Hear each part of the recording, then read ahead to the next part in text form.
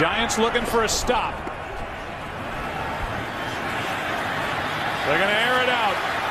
Rodgers does this better than anybody. End zone, Cobb, touchdown! Unbelievable!